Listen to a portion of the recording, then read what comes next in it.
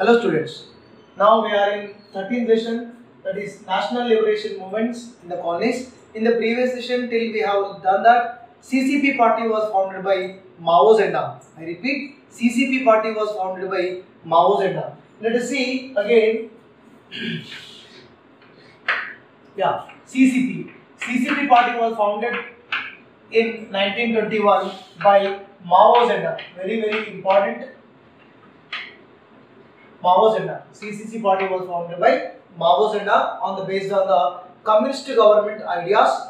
He was inspired from the Russian Revolution. When he was inspired from the Russian Revolution, he was founded this Communist Party of China or CCP, Chinese Communist Party.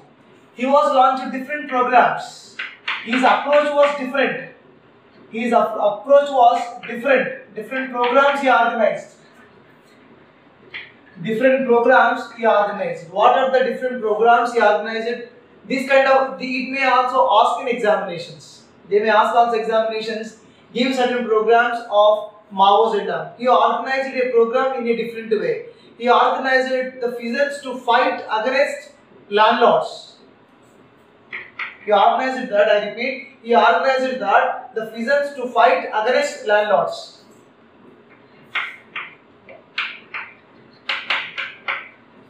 Organized the peasants peasants to fight against to fight against landlords. Means he is inspiring the people. Let us fight against the landlords. Landlords are having so many lakhs of the acres. Let us go and let, let us occupy the lands. Okay? Then you know whenever he says you know lakhs of landless were joined in the ccp lakhs of landless lakhs of landless joined in CCP. Lakhs of landless were joined in the CCP. Next, he also formed Rural Women Association. Formed Rural Women Association. One women Rural Women Association. One of one of the association was formed. It was consist consist by only the rural women. Rural women. It was consisted. It was called as Rural Women Association. It was became very strong. Next. A strong Soviet Council. A strong Soviet Council. This is confined by only the rural women's. Rural Women Association. Rural Women Association. And this one, a strong Soviet Council. Soviet Council along with the workers and all other category people were people were joined in it.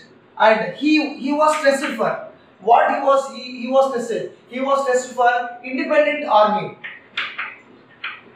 Tested for for independent government.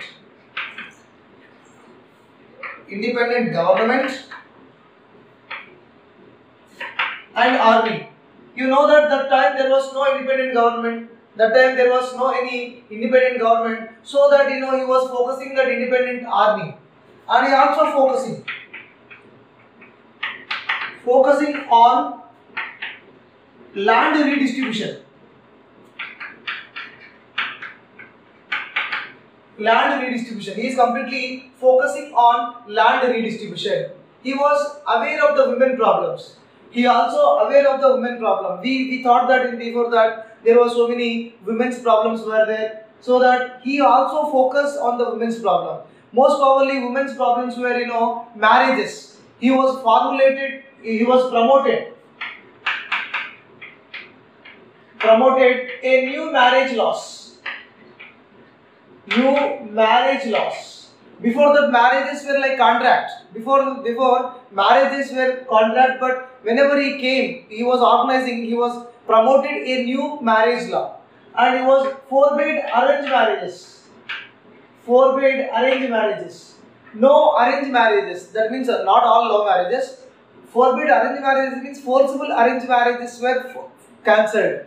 No, there, no more. There was no uh, arranged marriages. Forcible arranged marriages were uh, he was forbade, and he also stopped. He also stopped purchase, purchase or sale of marriage contract.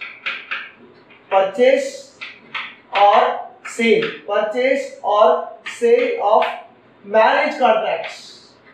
Marriage contract. before that in China, marriages were like contract, contract marriages were there, and there was lot of uh, damages were, lot of problematic things were there, and there was no divorce system was there. Divorce system is there, but it was very difficult to get the divorce system, and he also simplified, simplified the divorce, simplified the divorce system he was uh, he was did. So these are the different programs he was organized organized under the CCP party. That we know that organized the fission uh, fissions to fight against landlords. Lakhs of landlords were joined. Farmers uh, Farmer Rural Women's Association. A strong Soviet council was formed. All the people were joined. Trusted for the independent government and army. He was focusing on land redistribution. Those who are landlords were there. He wanted to he wanted to give the land and he what he promoted a new marriage laws. New marriage laws he was promoted, forbade the arranged marriages. He was cancelled the arranged marriages, forcible arranged marriages. Next, uh, purchase or sale of marriage contract. Marriage contract was there. You can sell. That is, you know, you can buy the contract, marriage contract. Next, uh, simplified the divorce system. So these are the resources. These are the resources were done by CCP party. Then in very uh, very soon he became a popular leader in China and many people were believed in Mao, Mao Zedong. Next step. Mao Zedong also focusing on that especially uh, end the landlordism and also imperialism.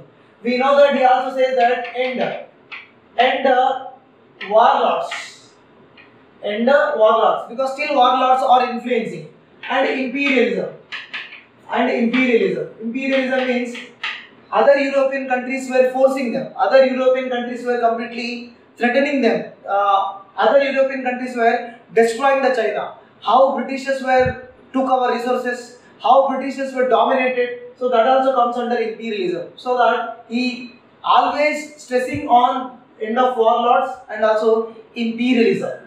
Yeah, whenever he became very popular, whenever he became a popular, there was an attack between the KMT and uh, CCP. There was an attack. KMT party people are there attacking on CCP party members. So there was a complete disturbances among the, these two people. We can see he frequently changes. He frequently changes his base. We can see once upon a time CCP party base. CCP party was their all members party was uh, it was there in uh, Jiangxi. Jiangxi. One CCP CCP party wanted to uh, wanted to hide themselves from the attacks of the KMT party. Then sometimes they were they stayed at uh, Jiangxi, and we can see he was held on long march. He was held on long march in 1934 and 1935. Long march. So what is long march? To change his base again. To change his base again, he was 6,000 miles, very difficult road very difficult distance. It was 6,000 miles. 6,000 miles, they all members were by barefoot. On foot only, they, they were marched. It is known as long march. To escape from the attacks of the KMT, this long march was done. Okay, this this mile was completely reached to Shaanxi. Shaanxi. They completely successfully changed their base. Successfully changed this their base to Shaanxi. Right. Next step they they have certain agendas, but most probably the main agenda, the twin agenda of Mao Zedong. Twin agenda. What was the twin agenda? Twin, twin means two. The dual agenda or twin agenda of of Mao Zedong was first one is land redistribution. Land redistribution. He wanted to distribute the land to the landless people. He wanted to distribute. Second one, Second one, nationalism. Second one, nationalism. The meaning of the nationalism means to drive out the foreigners. Drive out the foreigners from China. So that is the twin main agenda of main agenda of Mao Zedong, CCP party leader. Okay? Yeah, do they achieve it or not? Let us see. Do they achieve it or not? Let us see. Yeah, again we discussed that Japan. Japan they started to attack on China from 1937 during 1937 and 1945 this period 1935 to 1945 in this period China China was occupied some part sorry Japan, Japan occupied some parts of China. It is also called as Manchuria. Manchuria. Manchuria means not eatable. Manchuria is a, is a place. The far east place of China was came under the control of Japan. So Japan was, you know, they wanted to impose very cruel colonial power. They imposed a cruel colonial power in the Manchuria. I repeat, Japan was imposed very harsh conditions they created in Japan, that is in Manchuria. Hence, you know, KLP party. Hence, you know, KLP plus CCP. KLP, CCP, both parties they united, they fought for their country. KNP and CCP both were fought for their country. As we know that 1945, 1945, USA dropped bombs. USA dropped bombs. USA dropped bombs on Hiroshima Nagasaki on Japan. Then Japan was surrendered. Then finally Japan was surrendered. After the Second World War, after the Second World War, CCP became CCP became a major party. CCP CCP ruled China.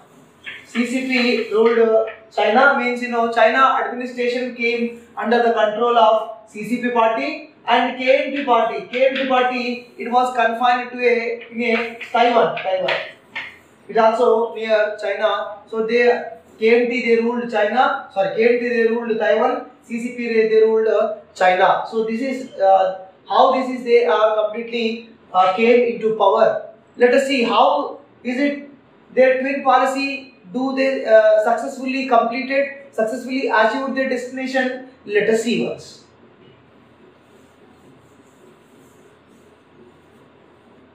Yeah, just now we said we discussed that CCP party became a main party in China's mainland and KMT party became they successfully established their their authority in Taiwan. We said yeah, 1945.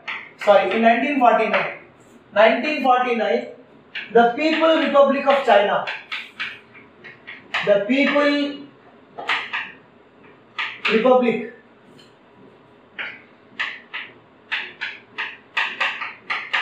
Yeah, the People Republic of China was adopted.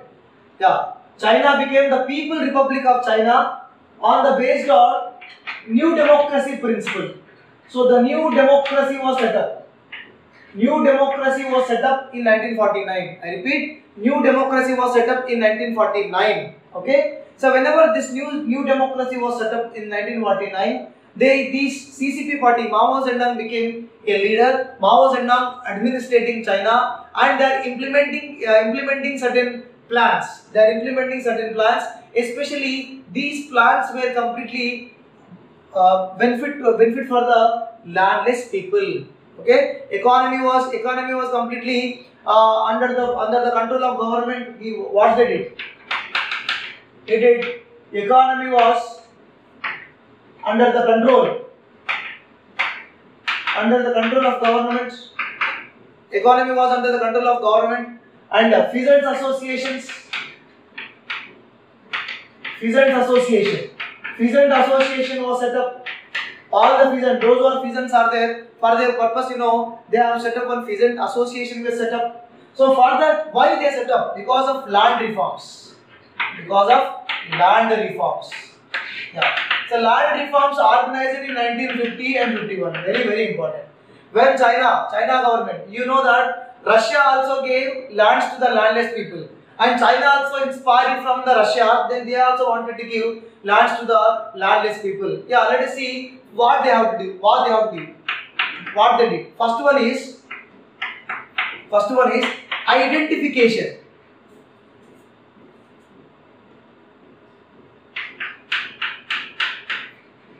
Identification of peasants peasants because for all they will not give no. For example those during corona time government is giving to all 15 uh, all to 15 uh, 1500 rupees not. Those who are poor for them only they are giving. So in the, uh, identification of peasants i repeat identification of peasants next up peasant council or peasant associations. So peasant associations or peasant councils were set up. Peasant council were set up that those who are having lands those who do not have a land. So they are writing their names. They are identifying they are going village level. Every countryside, every village, certain committees are going. They are identifying that how many farmers are there in the village, how many members are landless, and how many members landlords there, landlords are there. Immediately, they are giving their documents to them. Landlords documents to, took and the landlords uh, landlords were landlords documents were hand over over to the peasants immediately. And again, there were work teams also there, work teams. Sir, what are work teams? Work teams also roam entire China. Work teams also roam entire con- uh, countryside of China and they are encouraging. They are encouraging people to join in the CCP. They are encouraging people to join into the CC- CCP. Peasant association councils were there, association councils were there. They are identifying the peasants, those who are having the land or those who do not having the land. Those who are the landlords. All the landlords' lands were took. Those who are having many lands, many acres of the land, those lands were lands were took. Those who did not give lands, they were executed. They were killed. Okay, they were hanged. So land redistribution. Let us see the land redistribution. See, landlords' lands. Landlords' lands confiscated. Confiscated. Confiscation. Confiscated means occupied. Under the came under the control of government. Government was uh, took under the control. So this is called this is called confiscated. Landlords' lands were confiscated, confiscated and uh, redistributed redistributed to the landless people. So what happened actually? 43% of land, 43% of China's land was distributed to 60% of peasants. So majority.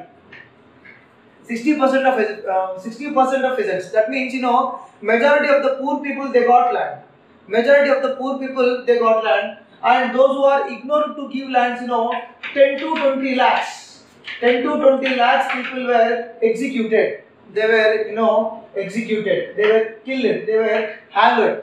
Especially landlords. Especially landlords. So what happened, you know, for example, this person was rich.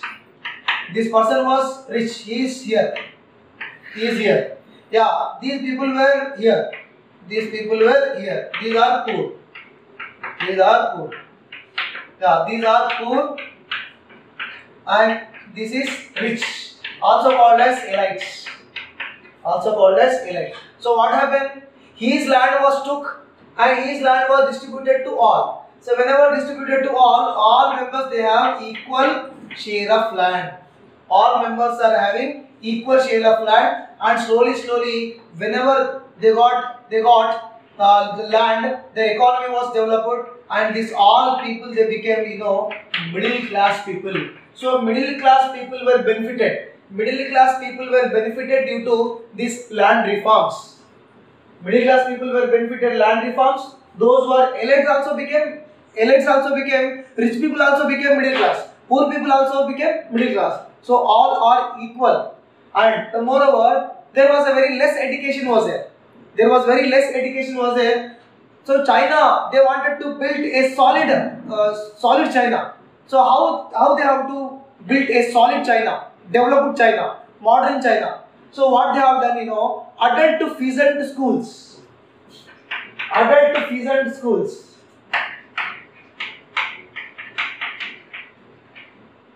adult adult peasant schools. Adult peasant school uh, schools were set up in the schools political education also they taught. Political education. They also taught political education. They also taught peasants uh, peasants and extra information and political educations also they they, they provided. And primary education also provided primary education primary education was provided. So due to this you know within a decade within a decade in early stage in early stage china became very strong. China's education became very very strong. Then solid china was built by the mao zedong. Now the father of china was mao zedong. Father of china was mao zedong. Because he was the god of the poor people. Because he distributed the land to the all. Nowadays all middle class people all middle class people became a member of china all middle class people they became members of China. Nowadays, no other political parties, no other political parties came into power except the chairman of CCP party. Chairman, chairman of CCP party, only he will become president of China because there was a huge majority was there. No other political parties are allowed in China, oh, except the CCP and CCP allies. CCP, uh, major, CCP party also having certain uh, allocation or friendship. So that parties and along with the CCP and those parties are able to get win into the elections because of the land reforms. China became a top country and this communist country and finally Mao Zedong became father of China. Ma- founder of modern China was Sun Yat-sen. So this is about China.